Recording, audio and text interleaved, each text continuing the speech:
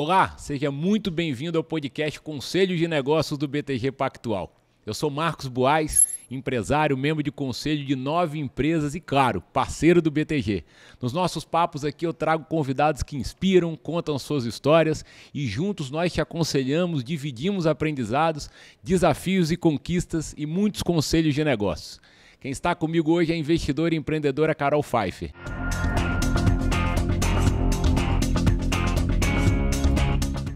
É um prazer te receber aqui, Carol. Obrigado pelo teu, pela tua presença. Eu sou muito fã do teu trabalho e eu queria muito que você se apresentasse. Como é que você se define?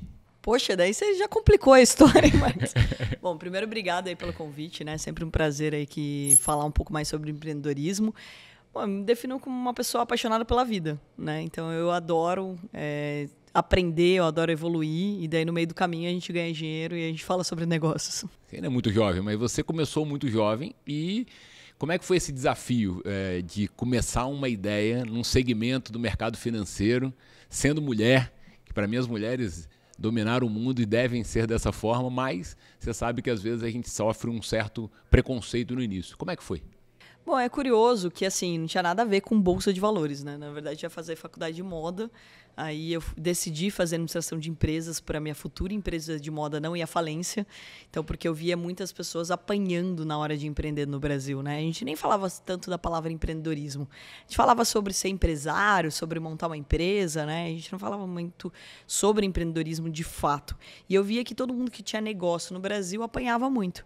Né? E a minha mãe, ela tinha confecção infantil, a minha avó de adulto, então eu cresci meio no mundo da moda. E até porque a minha mãe e meu pai casaram muito cedo. Aí minha mãe começou a fazer roupa para minha irmã porque ela não tinha grana para comprar o que ela tinha de bom gosto. E eu nasci nesse meio. E daí eu falei, nossa, eu quero montar uma moda teens.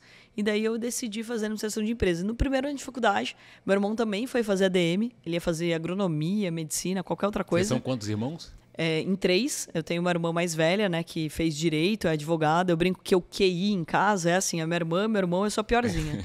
então, quando todo mundo elogia, eu falo assim: olha, sei que você não conhece meus irmãos. Mas, brincadeiras à parte, né, eu tinha a minha irmã como referência, né, muito estudiosa. Meu irmão sempre com muita habilidade em negócios. E daí ele me apresentou o mercado financeiro e eu fiquei, assim, apavorada, para ser sincera. Porque eu vi aquele monte de gráfico e falei: cara, o que, que é isso? Não tem nada a ver, vai fazer moda. E daí eu conheci o mercado financeiro e através vi, do teu irmão, então? Através do meu irmão. E a gente sempre foi muito unido, porque quando a gente era criança, aí de novo, né, assim, é aquele empreendedorismo que você nem sabe que é empreendedorismo. A gente tinha horta de alface, a gente vendia estigadinho, a gente vendia as coisas na rua, E sempre né? em conjunto? Vocês sempre, sempre, tiveram essa veia de ser sócios? É, eu, meu irmão e minha irmã, a gente sempre foi muito conectado, mas eu e meu irmão mais ainda, né? Então a, a gente tinha diferença de dois anos, minha irmã é três anos e meio, né, de diferença, mas sempre muito conectado. E daí ele sempre me chamava para as coisas, eu sempre chamava ele. Então, quando ele conheceu o bolsa, foi a mesma coisa. Ele falou: Olha, olha isso daqui que eu tô aprendendo. E daí eu comecei a ver e eu vi que não era um bicho de sete cabeças como todo mundo vendia. E eu sempre gostei muito de traduzir. Né? Então, dentro da faculdade mesmo, eu ajudava os meus amigos a entender a matéria, né? Então, sempre, assim, tipo, me colocava meio como mentora de algumas coisas tal. E daí, na Bolsa, não foi diferente. Falei, pô, por que todo mundo tem medo disso daqui? Não é tão complicado assim. E daí eu vi que tinha pouca mulher, mas não era um problema para mim. Porque eu via que também é, a galera espantava pelo fato de ter uma mulher falando de um mercado que é muito masculino. E eu tinha ele do meu lado, a gente ficou sócio tudo mais, mas eu ia para uma reunião só tinha homem, ninguém esperava tanto de mim, para ser muito sincero. E você aprendeu mais na prática? Tudo na prática, na verdade. E assim, é, de fato testando né, o mercado. E aí, parece uma velha falando, mas da minha época, né, Marcos? Não tinha simulador, por Sim. exemplo. A gente não podia testar o mercado antes. A gente, de fato, abria uma conta numa corretora, colocava dinheiro. Eu não tinha grana, então tinha cliente. Eu tirei certificação de agente autônomo na primeira turma. Então, quando começou a ser exigido certificação de AI, né, que é o agente autônomo, eu e meu irmão a gente tirou essa certificação. Então, ou seja, foi muito na prática tudo isso. Mas ao mesmo tempo era um negócio que qual era a nossa preocupação? De que fosse simples. Ah, eu entendi isso daqui, como que eu posso simplificar para quem está me escutando, para quem está vendo? E daí eu fui me apaixonando por esse mercado. E uma das coisas que eu me apaixonei é da meritocracia. Então, quando você fala, por exemplo, de preconceito, tudo que a gente vai fazer tem um pré-conceito. Claro. É o nome, é, é a palavra, né? Então, tipo, não te conheço. Eu posso te julgar pelo jeito que você anda, pelo jeito como você fala, se você é homem, mulher, porque você veio de uma família muito rica ou muito pobre. Na bolsa não existe isso. Então, o que define uma pessoa de sucesso no mercado financeiro? A última linha. Claro. Ou seja, o Resultado. resultado, o lucro. Então eu fui me apaixonando por esse mercado. Aí não tem como ser diferente. Você fala, cara, eu quero falar para todo mundo. Porque esse é um mercado meritocrático e que a gente sabe os desafios de empresa no Brasil, né? Você tem Muito que ter grande. você tem que ter o network, você tem que ter o contato, você tem que abrir muita porta. E era um mercado que eu encontrei que não tinha tudo, não precisava disso. Então era só eu estudar. E daí eu acabei me identificando bastante com isso. E aí você e o seu irmão criaram a Pfeiffer Investimentos e viram um grande sucesso. O que, que você interpreta sendo o diferencial que vocês tiveram para ter esse sucesso que vocês tiveram? Bom, acho que primeiro de tudo foi escutar o mercado, né? Foi muito interessante, porque quando a gente cria o nosso agente autônomo, e daí é legal de falar, né? Assim, eu tinha 17 anos, meu irmão 19 anos, é tipo dois pivetes. Aí a gente chega no escritório de Campinas, onde a gente começou a estagiar. Você sabe que estagiário de mercado financeiro paga para trabalhar, né? Porque não ganha nada e ainda paga alimentação, transporte, tudo. E daí a gente é, apresentou para o dono do escritório, meu irmão até mais ousado do que eu, é, para o dono do escritório tinha 60 e poucos anos, para mudar o gerente do escritório que tinha 40 e poucos anos, para falar, olha, esse cara tá fazendo tudo errado, a gente queria falar sobre educacional e o cara não tá falando. Ele não tá ensinando as pessoas. E como que a gente vai mudar o mercado no Brasil? E até quatro anos atrás a gente tinha mais gente na cadeia do que na bolsa. Então, ou seja, ninguém investia quase no mercado financeiro. Como que você vai criar, você vai mostrar para as pessoas que é simples o mercado financeiro se você não está educando as pessoas? E daí a gente apresentou um projeto para educar. Aí o dono do escritório falou assim: claro que não. Então, ou seja, vocês não vão mudar nada aqui e tal. E a gente decidiu montar em Sorocaba esse modelo. E daí a gente começou a palestrar. Ele deve brinco- estar arrependido. hein? não, deu muito certo, deu muito certo. Foram brilhantes, assim, a gente por muito tempo cresceu junto com eles. Então, assim, Campinas acabou não dando certo. E a nossa parceria com, na época, na Gradual, né, a corretora primeira que a gente entrou, deu muito certo. Tanto que quando eh, o Agostinho, que era um fundador, infelizmente já falecido, foi um dos grandes mentores que eu tive no mercado financeiro, mudou para a Semi Capital Markets, a primeira coisa que ele fez foi chamar a gente para ir para lá. Tipo, olha, vocês montaram um modelo de retail sensacional, eu tô aqui agora, eu queria que vocês viessem também. Então, ou seja, foi é, sendo trabalhado o que as pessoas queriam aprender. Eu brinco que eu tô rouca até hoje, tanto falar, porque qualquer lugar que me chamavam, eu ia. Então, era café todo final de semana, tinha um espaço café em Sorocaba, porque meu escritório tinha 50 metros quadrados. Metade era para dar palestra, metade era para a gente trabalhar. E a gente tinha que desmontar e montar o escritório toda vez que tinha gente para falar. E daí eu fazia parceria com outros lugares que eu podia falar. E daí, o que a gente fala hoje, por exemplo, sobre marketing de conteúdo, é o que a gente fazia lá atrás. A gente dava palestra, distribuía cadastro, e daí, no final, se o cara entendeu sobre Bolsa de Valores, ele virava meu cliente. Literalmente o que a gente fala hoje sobre funil. além da questão da meritocracia que você colocou, era a forma simples de explicar para a pessoa entender é, exatamente o que você estava dizendo, porque sempre, de fato, o mercado financeiro foi muito a é difícil interpretação. As pessoas sempre tiveram medo porque não entendiam. Exato. E daí que você para para pensar. Se a pessoa não entende, peraí, qual é o meu primeiro passo? Falar, explicar. Explicar para quem? Eu acho que daí vem uma outra habilidade que é a gente falar sobre o comunicador, né? Você está comunicando para quem? Adianta a gente, por exemplo, fazer aqui um papo e ninguém entender nada do que a gente está falando? A gente está conversando com quem? As pessoas elas têm que entender. Se elas não estão entendendo o que a gente está falando, a gente não ajudou ninguém. A gente criou um conteúdo totalmente inútil. Então, a preocupação sempre da Pfeiffer e de todas as nossas empresas foi essa. Pô, como que a gente se comunica de uma forma leve? Se as pessoas acham que o mercado financeiro é difícil, é porque elas receberam uma informação equivocada. E era o que eu sentia, era muito economês, financês. Você pegava o jornal, ninguém entendia nada. Até hoje, né? As pessoas assistem Jornal Nacional e falam assim, cara, o que é aquele monte de número? Tá errado. Porque se eu não estou comunicando da maneira correta, como que eu vou fazer com que mais pessoas sejam investidores? Não vou conseguir.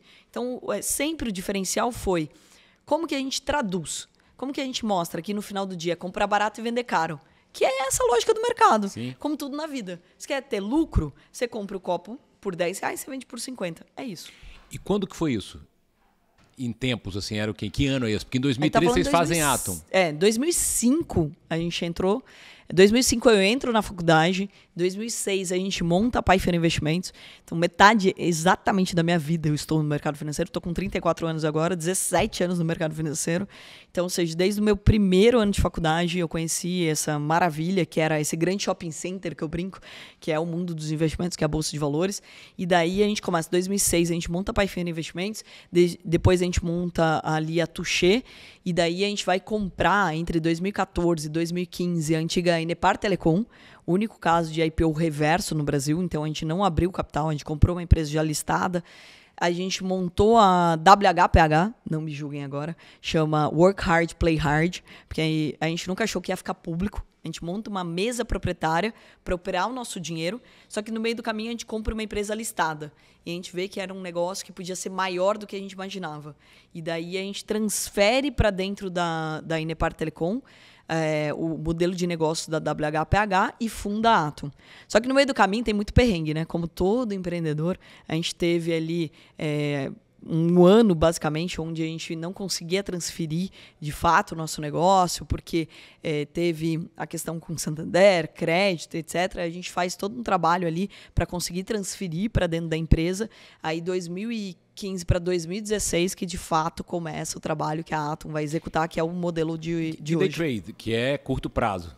É, na verdade, assim, o que, que acontece? A gente montou uma mesa proprietária, que existem 8 mil empresas nos Estados Unidos que fazem isso, e a gente estava fazendo de um jeito meio amador. A gente vai para os Estados Unidos para fazer mais um curso. Eu e meu irmão, a gente fez muitos cursos em Nova York, que é onde mais acontece o mercado financeiro, e daí a gente conhece o modelo de mesa proprietária. Quando a gente conhece esse modelo, a gente percebe que a gente poderia contratar pessoas para operar nosso dinheiro no curto prazo. Porque, vamos lá, no longo prazo, Marcos, a gente não precisa de muita gente. Então, eu posso ter cinco gestores, pessoas especializadas em montar carteira e escolher se vai ser banco, se vai ser varejo, se vai ser educação ou um mix disso para nossa carteira. Não precisa ficar girando. Quando a gente fala de day trade, e é importante a gente explicar, não é um bicho de sete cabeças, é comprar e vender no mesmo dia. E o brasileiro é muito imediatista? Como é que é o perfil? Então, o brasileiro é, porque assim, o maior exemplo disso é o mercado de apostas. O mercado brasileiro de apostas, de cripto criptomoeda também cresceu rapidamente no Brasil.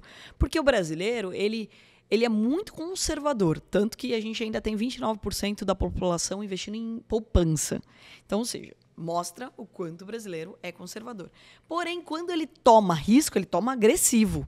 E ele vai para o mercado, por exemplo, de trader esportivo, ele vai para o mercado de cripto e etc. Então, não é que no brasileiro não gosta de risco é né, uma falácia a gente falar isso. Então, ou seja, ele gosta de risco, mas ele quer esse imediatismo e muitas vezes ele não estuda. E nessa ida a Nova York, vocês veem esse mercado de curto prazo crescer e trazem para o Brasil? Exato. E daí a gente começa a ver que o que a gente estava fazendo meio amador, existiam essas 8 mil empresas que faziam, e a gente monta uma mesa de traders. Só que daí a gente tenta contratar as pessoas para fazerem isso. E qual o problema? Quem é trader no Brasil? Até ontem, eu acabei de falar, tinha mais gente na cadeia do que na bolsa. Então, ou seja, eu não tenho esse profissional. E daí a gente tenta fazer parceria, Marcos, com todo mundo que já era do educacional. E daí qual é o outro problema que a gente encontra? Ninguém passava no nosso teste. Aí você fala, cara, como assim? Não é porque o nosso teste é difícil. O teste é bolsa. A gente criou um simulador em tempo real, porque antigamente era, tinha um delay, né? tinha um atraso no mercado. A gente cria um simulador onde a pessoa tem que bater uma meta de ganho e respeitar os limites de perda. Quando ela bate a meta, a gente contrata essas pessoas. Só que a gente não encontrava esses profissionais, ninguém passava no teste. Aí senta eu e meu irmão, eu brinco, bota a bunda na cadeira e vamos criar um educacional. Aí eu vou estudar educacional. Então eu já dava aula, mas eu queria, eu sempre levei muito a sério. O educacional tem que ser muito levado a sério. Então como que eu entendo como que as pessoas gostam de aprender? Aí agora estou me formando no mestrado de educação e tecnologia, porque as pessoas mudaram o seu jeito de aprender. Muito. Então antes você aguentava uma aula de 50 minutos, era o padrão, né? Hoje em dia no online ninguém fica 50 minutos numa aula. Não. Então você fica num bate-papo, mas numa né? aula não fica. É, eu fui visitar essa semana, não sei se você já visitou a Intel, tive com Salute e fiquei impressionado com o modelo e o formato de educação, né? É, as pessoas estão aprendendo cada vez mais num método diferente e com muito mais resultado. E tem que ser, porque quando a gente fala, por exemplo, de educação financeira de investimentos, as pessoas já têm um preconceito em relação algo chato. A primeira memória da pessoa é, tipo, isso é difícil, isso não é para mim, isso é chato porque a gente criou crenças limitantes sobre dinheiro e sobre finanças. Então, ou seja, eu tinha que quebrar esse obstáculo. E daí eu fui estudar como que a gente poderia montar esse modelo. E daí a gente cria o nosso educacional, focado primeiramente no day trade, porque era o nosso objetivo, contratar pessoas para operar day trade. Então, ou seja, pessoas que vão operar o nosso dinheiro sem risco para elas, e a Atom vira como se fosse um Uber do mercado financeiro. Então, ou seja, você pode trabalhar com o meu dinheiro sem risco para você, ganhar 80% dos lucros e ainda trabalhar de qualquer lugar do mundo. Então, ou seja, literalmente o Uber do mercado financeiro, Sim. sem você precisar do investimento num carro, muito mais simples, inclusive, podendo trabalhar uma ou duas horas do seu dia. E daí a gente viu uma grande necessidade do mercado como um todo, né? Então, ou seja, tipo, BTG contratando agente autônomo, não encontra. Por quê? Porque não tinha esse profissional. Compliance. E daí você fala gestor, analista. Falta. O mercado se formando, né? É, porque falta profissionais. Porque ninguém chegou, e daí eu não vou entregar a minha idade, porque quando eu falo colegial, as pessoas falam que eu tô velha, né? Então, ensino médio, ninguém te falou, Marcos, que você é, podia trabalhar no mercado financeiro e ser muito bem remunerado. E um agente autônomo hoje ganha 18 mil reais na média. Só que ele levou três meses para se formar, enquanto o médico ganha, na média, a mesma coisa e demorou cinco anos mais especialização. O engenheiro é a mesma coisa. Então, ou seja, a gente começou a ver que tinha uma necessidade de profissionais do mercado financeiro. Então, a Atom ela vai evoluindo para um educacional, onde hoje não fala só sobre day trade, mas a gente tem profissionais para qualificar para todo mundo que está procurando, todas as corretoras, os bancos, etc. E a gente vai além. Porque o trader ele acaba tendo tempo livre. E daí, quando ele tem tempo livre, ele também pode trabalhar no marketing digital. Então, hoje a gente também tem uma escola voltada para marketing digital. Consegue ter duas funções. Exato. Então, você pode ser um copywriting, se você gosta de escrever, se você gosta de argumentar. Você pode ser um web designer, um designer. Você pode ser uma pessoa do tráfico. Por exemplo, o trader, ele é bem parecido com o cara do tráfico. E, gente, é uma profissão legal, tá? A gente está falando de tráfico, ou seja, de anúncio na internet, Google, Sim. Facebook, etc. Então, quando você é impactado, por exemplo, pela Carol falando da Atom, é exatamente essa função do cara, de entender qual é o teu perfil e mostrar um anúncio para você adequado. É exatamente o que o trader também faz. É um cara mais analítico. Então você mostra para as pessoas que elas podem ser multi-receitas. E é isso que a gente vem trabalhando hoje. Então, ou seja, batendo na tecla que a pessoa pode ter de três a quatro fontes de renda, sem precisar abandonar aquela profissão que ela gosta muito, mas que a tecnologia e a internet te trouxeram essas possibilidades. Aí o sucesso da Atom vem a possibilidade do investimento do BTG através da Exame e, e o BTG para investir é porque de fato era um projeto realmente desafiador. Como é que isso que, que significa para você ter um investimento dessa forma e um parceiro como ele? Poxa, é uma realização de um grande sonho, né? Porque eu comecei no mercado com 17 anos. E para mim, sempre a referência foi o BTG. E em nenhum momento eu quis ser comprada. A Atom, eh, não só a Atom, todas as nossas empresas sempre foram muito saudáveis. A gente sempre foi muito pé no chão. Eu e meu irmão, a gente sempre tomou risco de uma forma controlada, né? Sempre fazendo a gestão de risco. A gente nunca cresceu mais rápido do que a gente poderia, então a gente nunca tomou dívida, a gente não abriu capital, como eu falei, então eu não peguei dinheiro do mercado. Em nenhum momento a gente gerou um tipo de problema financeiro pra gente. E daí a gente foi abordado por toda, assim, todo mundo do mercado financeiro, todas as corretoras, todos os bancos, etc. E era muito engraçado, porque aí, né, eu e meu irmão a gente ia discutindo quem a gente quer de sócio, quem a gente quer de sócio. Não, a gente não quer esse. Não, é, não, e, não, e não, não, tendo problema financeiro era uma escolha de fato, né? Exatamente uma escolha. Daí assim que a Exame é comprada pelo BTG, é, eu tive esse, comecei a esse bate-papo com a Exame, né? E a Exame quer montar esse sistema educacional. Então a Exame até então tinha todo aquele sistema tradicional de revista, etc. E precisava se atualizar com o mercado e ir para o digital. E era algo que eu já estava fazendo há cinco anos. E eu começo a participar das reuniões e começo a ter bastante bate-papo aqui, justamente para falar que eu poderia colaborar.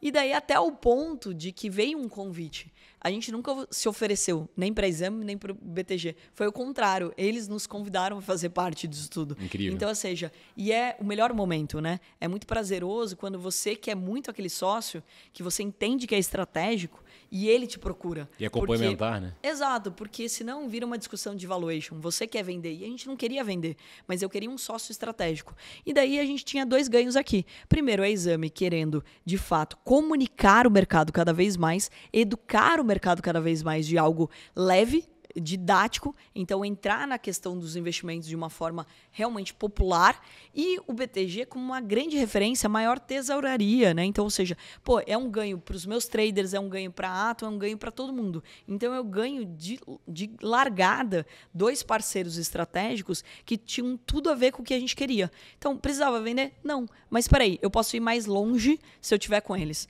Então, aquela velha história, você pode comer um cupcake sozinho Sim. ou você pode dividir uma pizza grande. E era os sócios que eu mais gostaria de ter. Então, por duas coisas muito importantes. A história do BTG.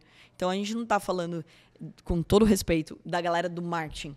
A gente está falando de de tesouraria de verdade, de traders de verdade. A gente está falando de mercado financeiro raiz. Né? Sou super fã do André. O André, eu acho que é uma pessoa que é uma referência para o nosso país em relação ao mercado financeiro de uma forma leve e séria. Eu também. E daí a gente pega o exame com essa pegada de comunicar. Então, ou seja, melhor impossível. Você ganha dois na largada. Você vai comunicar leve, você tem um educacional, você atinge pô, milhões de pessoas, que é o que a exame traz, e toda uma credibilidade, uma credibilidade forte, sim. Exatamente. Existir há tanto tempo e não ter nunca colocado nenhuma notícia né, para se vender. Então, sempre uma preocupação com a credibilidade. E você pega um BTG que, de fato, vai ter esse ganho em relação a know-how sobre o mercado financeiro. Não tinha como não, não fechar esse deal, né? Então, acho que todo mundo viu esse potencial e o mercado realmente aceitou isso muito bem. Carol, eu sempre te assisto no Shark Tank e adoro tua participação. Eu queria muito saber como é que você foi convidada, como é que veio esse convite, entender um pouco também como é que é a sua decisão ali para investir na empresa que está sendo apresentada. Bom, Max, eu, vou te confessar que assim, para mim foi uma grata surpresa, né? Porque o Shark, ele já acontece em 50 54 países no mundo, né? Então, é, foi muito legal porque alguns anos atrás, mais de 10 anos, a produtora que me gravava me falou assim: "Ah, você deveria estar no Shark, você e seu irmão, não sei o quê, não, não. o que é Shark?" E fui ver o programa. Falei, cara, eu fiquei lisonjeada, porque assim, putz, eu sou uma piveta, tinha 20 e poucos anos, e daí você tá me falando de participar de um programa com um Shark. E fiquei muito feliz. O Shark veio para o Brasil, obviamente não fui convidada logo de largada, né? Então eu era ainda muito nova, ainda poucas pessoas me conheciam. E daí o Shark começa a evoluir e eles marcam aí durante a pandemia uma reunião comigo. E eu não sabia se eu estava é, para ser convidada, que é um dia, se eu ia estar tá meia temporada ou uma temporada inteira, né? Então eu não sabia nem quem eu provavelmente ia substituir, porque eles não contam nada. Eu não podia contar para ninguém. Era então, só um encontro que você não sabia que de fato ia sair de lá. É, e a gente começa a ter reuniões, né? Tudo online, porque a gente estava no meio da pandemia, e eu não sabia de fato o que ia acontecer com aquilo e eu não podia conversar com ninguém. E olha que curioso, no mesmo ano eu sou convidada para um outro programa que estava lançando, com uma pegada empreendedorismo, para ser inclusive sócia. E daí eu falo, cara, e aí, o que, que eu vou? Vou para cá, vou para lá? Aqui eu vou poder ser sócio, aqui vai ser um projeto que eu já tinha idealizado lá atrás, que podia ser um objeto de desejo. Exato. E, e, de novo, né, a marca Shark, o nome Shark no mundo todo, ele abre muitas portas. É bizarro. Hoje em dia, assim, eu marco reunião, eu sou CEO de uma empresa de capital aberto na bolsa. Mas eu sou Shark. Aí a pessoa para assim, Shark? Tipo, eu acabei de falar que eu sou listada na bolsa. Não, Shark? Tipo, é bizarro. Porque, assim, o nome, né, o peso do programa é muito forte. E daí eu fiquei muito feliz quando, em setembro, mais ou menos, eles falam assim: olha, a gente quer você full no Shark, você vai ocupar uma cadeira e você está entrando no lugar da crise. Eu falei, caraca. Primeiro peso foi porque ela já estava há muito tempo. E daí começa as matérias. Você vai ser melhor que a Cris, você vai ser pior, a Cris é brava, não sei o quê. Falei, gente, eu vou ser a Carol Afinal, eu vou colocar meu dinheiro, né? Ninguém trabalhou por mim, a decisão tem Isso que ser Isso que minha. eu acho que do programa é espetacular, porque é vida real, é Exatamente. teu dinheiro. Você não vai estar ali fazendo apenas a mídia do programa, você está investindo e buscando resultado. E é isso que você tem que pensar, né? Então, toda a minha decisão é pensada no pós. Quando você me pergunta como que eu vou avaliar um empreendedor ali, eu acho que a primeira coisa que tem que ser avaliada é o empreendedor. Porque, vamos lá, primeira coisa, na bolsa é muito fácil. Eu compro e vendo as ações, não falo com ninguém. Primeiro que ninguém me dá não, né, Marcos? Eu tive que aprender a dar, eu, tomar não. Tipo, eu, eu pego e falo para você assim, olha, eu tenho uma é proposta é para você tão não. legal, não sei o que. Não. Aí você fala, mas eu sou super fã do Apolinário. Falei, caraca, velho. Eu parei para analisar tua empresa, eu parei para analisar seus números, eu tô disposta e você fala que você prefere o outro Shark. É muito ruim. Agora, na bolsa, a gente não toma, não. Né? Você compra o que você quiser, vende a hora que você quiser, você não fala com ninguém. Então, ou seja, não tem essa dinâmica, né? E daí lá não, você tem que escolher seu próprio próximo sócio. E você vai ter que conviver com essa pessoa. E você tem que comprar o sonho dessa pessoa. E você tem que ver se essa pessoa ela vai estar tá aberta a te escutar, que é o papel da humildade, né? Porque um empreendedor que não tem humildade, como que você vai ajudar ele? Eu falo assim, ó, vamos ser sócio? Aí você não gosta de nenhuma ideia que eu dou. Aí tudo que eu falo, você fala, não, mas não é bem assim, não sei o quê. Cara, a gente não vai conseguir ser Os sócio. Os números talvez fossem positivos, mas é o que eu digo. Sociedade, para mim, Carol, tem que ser complementar, senão eu não acredito que dê certo. Exato. E daí é o grande desafio do programa, porque é um reality. Você tem que decidir ali se você vai ou não vai se é sim ou não. Você tem algum critério específico para decidir que empresa, que ramo de atuação, ou você olha o número? E é muito engraçado, porque todo mundo achava que eu era do mercado financeiro. Ah, você só vai olhar números o tempo todo. Até virou meme na internet. Ah, eu sou do mercado financeiro, não sei o quê. Cara, óbvio que eu vou olhar os números, porque eu não vou colocar meu dinheiro para perder, né? É contra a minha religião. Então, ou seja, pô, eu aprendi desde sempre que dinheiro não aguenta desaforo. Então, ou seja, eu tenho que colocar meu dinheiro em alguma coisa que vai prosperar. Se for para fazer trabalho voluntário, gente, eu sou sócia de um instituto que chama Êxito, que eu, é, é uma ONG né? Eu também sou sócio do museu. Lá eu faço trabalho voluntário. E, então, assim, esse é o foco lá, mas empresa não. Empresa, empresa não visa não. lucro. E outras, você chegou até o Shark, você não é um coitadinho. Você é uma pessoa que merece estar lá. Você é uma pessoa que estudou e você está representando milhões de brasileiros que gostariam de estar lá. Então, assim, acho que o primeiro passo é dê valor à vaga que você tem. Então, a pessoa que está lá, ela tem que entender os números dela. Ah, mas eu não sou do financeiro. Mas na hora de você fazer um pitch, você tem que entender seus números. Se você não entende seus números, você não entende seu negócio. Então, a primeira preocupação que eu tenho é essa. Mas eu olho muito o empreendedor, a empreendedora. Se ele tem uma postura muito arrogante, é uma linha tênue. Eu vou te fazer uma pergunta. Você pode responder com propriedade ou você pode responder com arrogância. Se você me responder com arrogância, não combina comigo. Então, porque eu brinco na ato que eu sou estagiária. Então, ou seja, eu estou lá aprendendo. Se você acha que você já sabe todas as coisas, você não tem nem perfil para ser empreendedor, muito menos para receber investimento. E tá tudo bem. Você pode ter esse perfil e dar certo, mas você não vai conseguir ter sócios.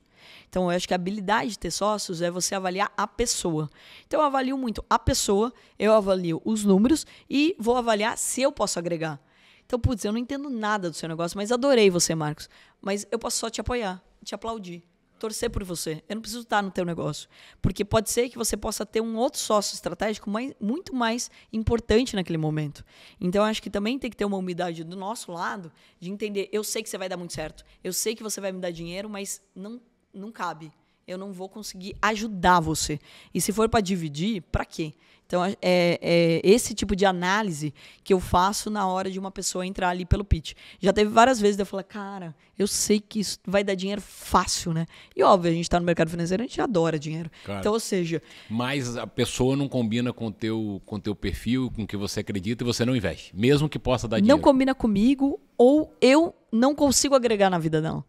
Então, pode até ser que eu te adore, mas eu não consigo agregar no teu perfil. Não existe essa troca então, complementar. Ou seja, então é difícil, né? Agora, uma coisa boa é que 17 anos, pô, eu acabei aprendendo sobre muitos segmentos, sobre muitos setores, porque como eu falo, né? O, o, o, mercado financeiro é um grande shopping center.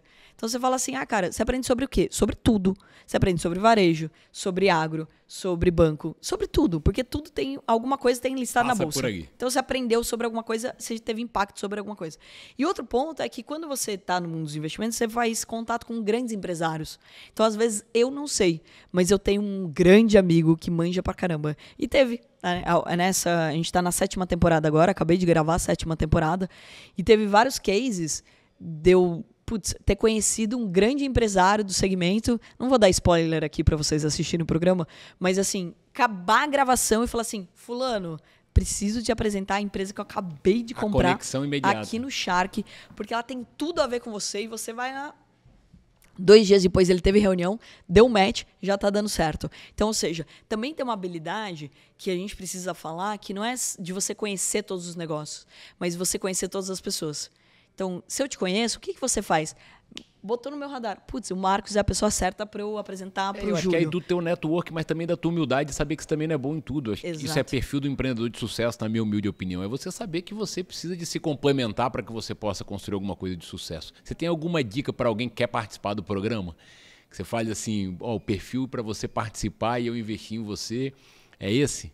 Acho que a primeira coisa, gente, não vai no campo das ideias. Eu acho que ninguém gosta de investir em ideia. É muito raro você falar assim, cara, eu vou colocar o dinheiro numa ideia.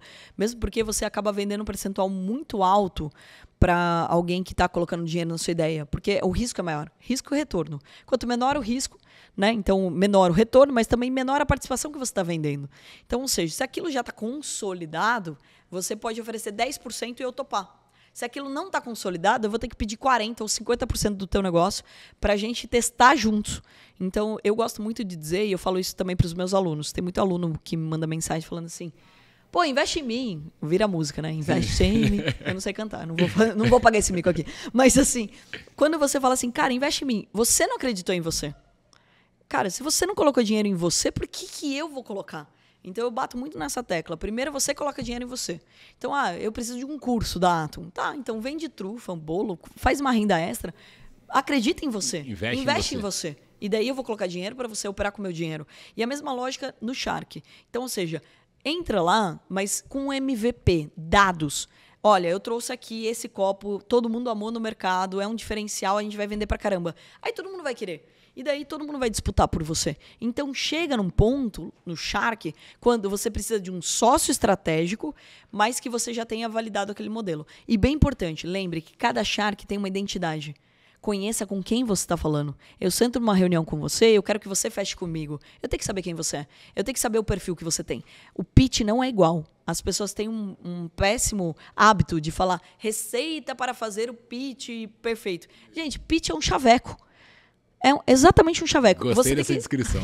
você tem que largar a pessoa curiosa para saber mais sobre você e a ponto de que ela entenda logo de cara que você é a pessoa ideal para ela. Então, ou seja, quando você estiver na dúvida de como é um pitch ideal, lembre de um relacionamento. Como que eu convenço uma pessoa a sair comigo? É a mesma lógica. Então, ou seja, se eu convenci uma pessoa a sair comigo, ela quer saber mais sobre mim. Se eu convenci uma pessoa a me fazer pergunta, é porque eu convenci ela a me dar atenção. Então, um pitch ele tem que ter isso. Eu tenho que chamar a atenção da pessoa. E cada pessoa se chama a atenção de um jeito. Tem gente que é mais pelo emocional. Você conta uma história, você impacta a sociedade, você vai. Agora tem pessoas que são mais dos números, tem pessoas que é mais do propósito, e aí que vai. Você tem que saber com quem você está conversando. E agora até pergunta para você, Marcos, e aí, quando você vai parar no Shark Tank? Já Olha, que você já teve esse convite. eu vou dizer, eu sou muito, sou muito fã do programa, mas eu não sei se eu teria essa habilidade que vocês têm como você, que achei eu que era diversificado, depois aqui nos bastidores você me falou de quantas empresas você já investiu depois do programa. Eu não sei como é que você tem tempo. Quantas empresas você já investiu desde que você começou o Shark Tank? Bom, agora são três temporadas, né? Em duas temporadas já tinha investido em 17, nessa última temporada eu dobrei. Então, assim, é... brincadeiras à parte, a gente vai dobrando a meta, né? Sim. Então... Mas eu acho que, assim, a primeira temporada eu não sabia como ia ser o pós. Então, eu estava muito mais conservadora. E é a mesma coisa quando você vai investir, por exemplo, na bolsa. Você começa. Ah, eu comecei com 100 reais. Aí você ganha confiança, você colocou mil. Daqui a pouco você tem 70% do seu dinheiro em bolsa. E você pode até chegar a ter 100, desde que você entenda o que você está fazendo. E o Shark não foi diferente na minha vida. Então, conforme eu fui entendendo pós-Shark, como que eu poderia montar uma aceleradora, montei uma aceleradora, chamei pessoas competentes para trabalhar comigo. Então, eu tenho advogados, eu tenho toda uma consultoria, nivelamento. Você constituiu a partir dessa participação?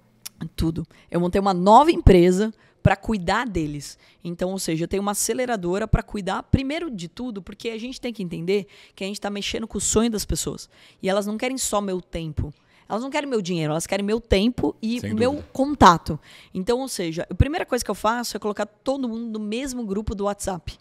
Porque não é uma mentora, Carol. São 35 mentores ali que estão colaborando. Então, uma das coisas que eu adotei é uma, uma toda uma metodologia onde todo sábado tem um mentor convidado, uma hora falando para eles. Então, por exemplo, eu não sou a pessoa que mais entende de franquia.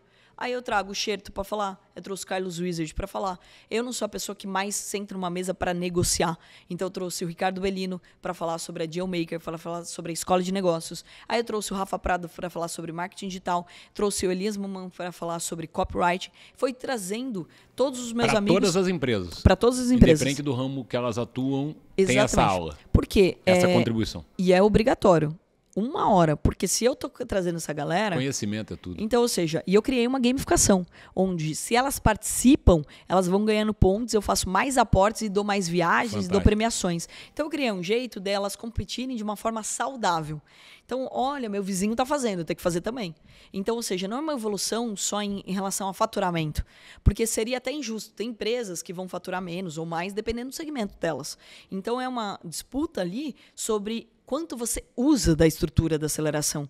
E daí eu criei todo um sistema, e venho melhorando cada vez mais, de escutar feedback deles. É, antes de eu entrar no Shark, a minha primeira pergunta foi: o que os empreendedores esperam de mim? O que eles não gostam e o que eles gostam dos Sharks atuais. Então eu quis entender o que eles estão buscando ali. E daí eu fui montando de acordo com essas necessidades. E daí eu montei essa mentoria, montei essa aceleradora e separei meu tempo, porque, como você bem falou, não dá para fazer tudo, né? Não dá. Então, ou seja, durante a semana, de segunda a sexta, eu brinco que eu falo de átomo. Não é brinco, por quê? Porque é igual o rádio. Então, se você mudar muito de estação, você não escuta nenhuma música. É muito importante ter foco. E daí, de final de semana, de sábado, eu dou mentoria individual para eles e tenho essa mentoria em grupo. E daí, por exemplo, você faz parte do grupo, você vai contar o que você está fazendo na sua empresa. Então, tem sempre um empreendedor convidado, tem um convidado mentor e um empreendedor convidado. Esse empreendedor, ele vai falar sobre o que ele adotou na empresa dele que deu muito certo ou deu muito errado. Então, vamos pegar, putz, a minha empresa, é, ele tem meia hora para falar de alguma coisa que ele adotou. Ah, eu acabei de criar um podcast que arrasou, me trouxe uma baita audiência. Ele coloca alguma coisa que ele está fazendo que está dando muito certo.